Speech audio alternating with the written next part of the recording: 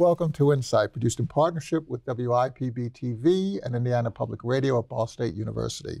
Today we are chatting with Jennifer Johnson, Executive Director of the Muncie Symphony Orchestra.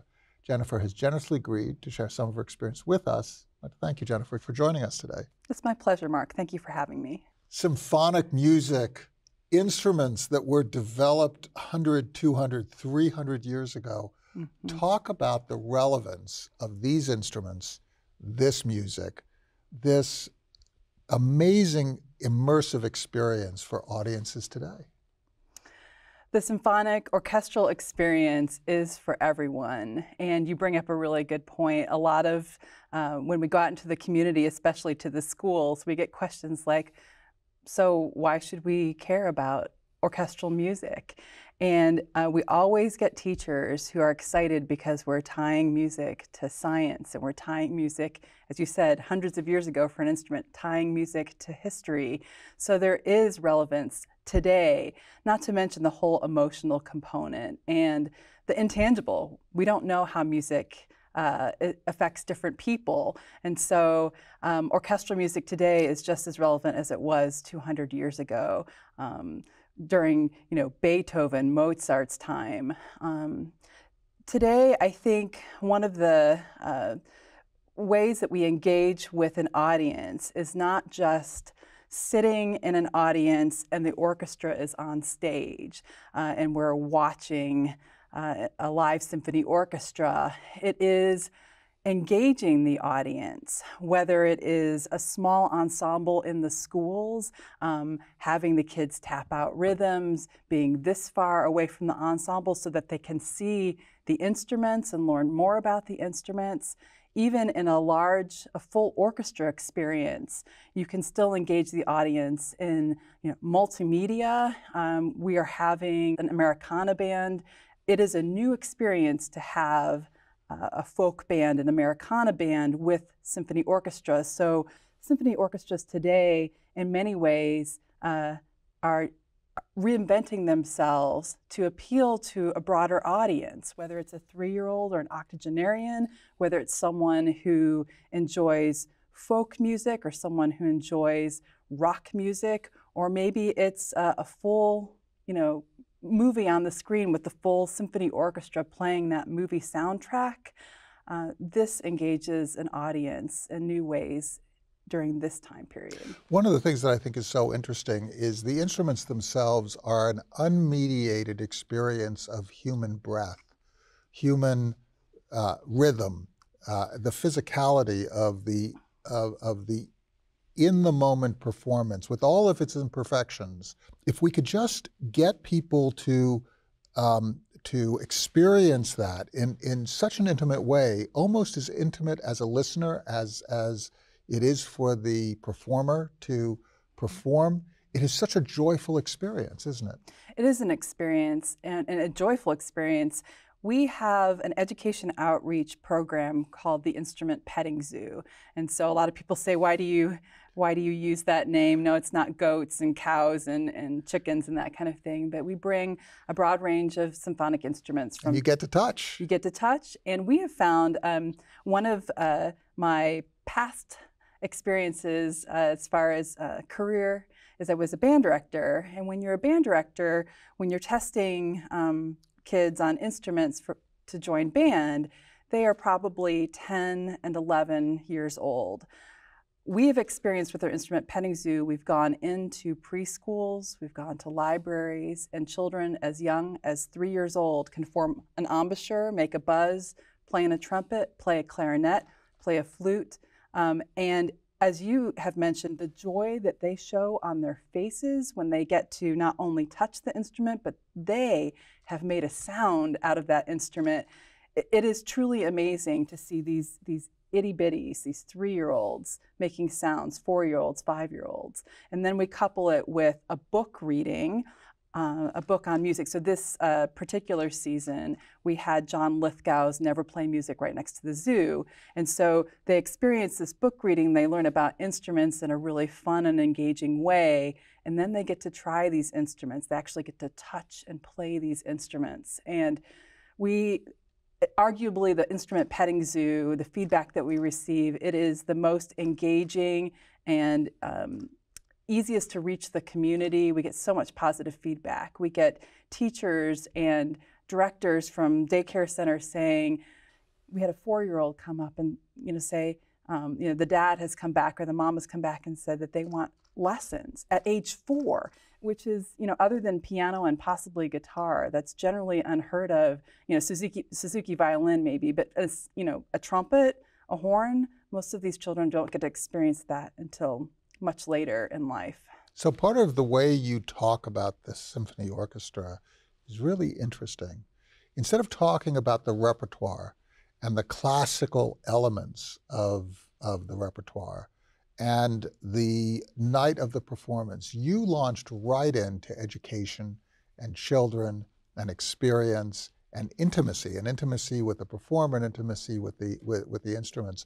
What is the philosophy that you have surrounding the leadership of a, of a, of a symphony orchestra uh, like this and in how you must connect with other people?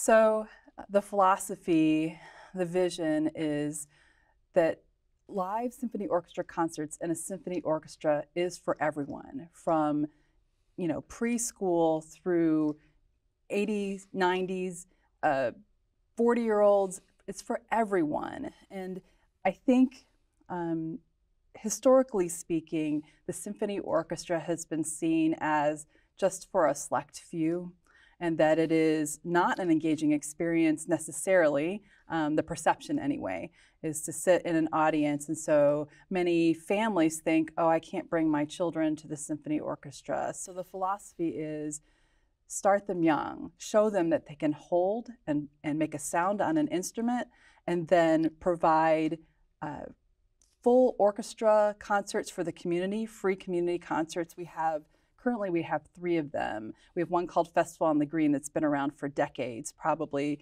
the better part of our 70 years here in this community, and we are celebrating our 70th season in this community. Um, we also have a free concert at Minnetrista Cultural Center, um, where that draws sort of an end of the summer. Come join us as we get ready for the school year. Free concert for the community.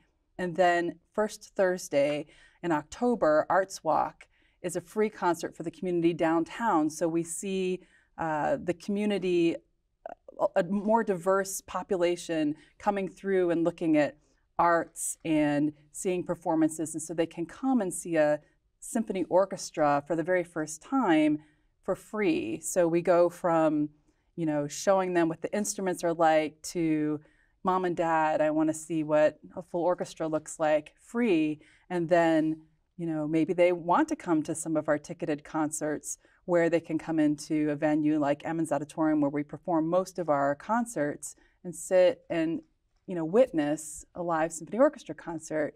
And I think this is essential, actually um, critical to the growth and sustainability of any arts organization, but specifically you know, an orchestra. How many um, performances do you have in a year usually? We usually have about one a month, and that's a mixture of free community concerts and ticketed concerts. Mm-hmm. Uh, so, July, we don't typically have a concert. And then on top of that, we have weekly visits to the community with the instrument petting zoo, the book reading, the small ensembles that go to the schools. We have brass quintet, wind quintet, string quartet, and um, sometimes the percussion, the marimba ensemble goes out. Um, the first three ensembles are in partnership with School of Music, so it's it's really neat to. Um, it's an immersive learning experience for the Ball State students to get out into the community and to learn more. Um, in addition, we do um, workshops and activities uh, with some of the community um, community centers, we've had something called the Bucket Ensemble, where we've taken uh, plastic paint cans and inverted them and taken snare sticks and mm-hmm. we go there after school and we teach basic rhythm and so um, chamber music concerts we go to the uh, westminster village which is an assisted living um, a lot of our longtime season ticket holders live there now and so we bring chamber concerts we're bringing a harp duo to them on Wonderful. March the 1st. Um, we, again, we've just, we had the marimbas go there at, at the holidays.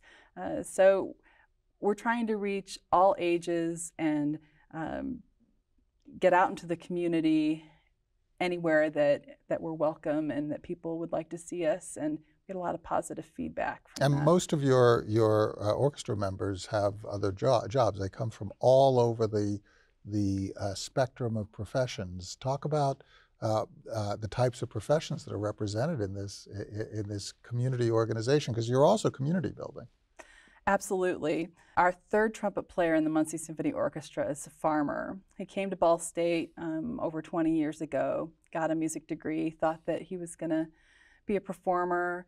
Uh, he actually did an in residence with a brass quintet in Kentucky, and then found himself back in Indiana farming with his father and his brother. And so he farms just north of here in Marion County, but he he's an amazing and fine trumpet player. That's his what his degree. So he you know, he performs with the Muncie Symphony, but by day he is planting and harvesting corn and soybeans. And I just saw him last week. There's um, there's a couple of uh, community orchestra, regional orchestras like Muncie Symphony. We jokingly call ourselves the I-69 Orchestra because of the interstate that runs through. Anyway, um, Nick Manuel is um, is our is his name, my colleague's name, and he said, Jennifer, because of all the rain, we actually just finished um, harvesting the soybeans about three weeks ago. And so, as you can imagine, during planting and harvest season, Nick's not available to come play his trumpet. So it is amazing. And for 14 years prior to becoming executive director of Muncie Symphony, I was the personnel manager and operations manager for the orchestra. And I consider it to be a huge gift for the reasons that you gave. You know, people are so fascinating and interesting. It is it is a it is a gift to be able to experience their lives, whether it's they're battling cancer or they just had a new baby. Um, so, in addition to fascinating careers, in addition to being excellent musicians, to be uh, part of their lives and to play music alongside such amazing people. It's a terrific, terrific experience that you're providing to others, and the actual participation within the symphony provides a terrific experience to its members. Jennifer Johnson, thank you so much for sharing the work of the Muncie Symphony Orchestra, and thank you so much for your insights. Thank you, Mark.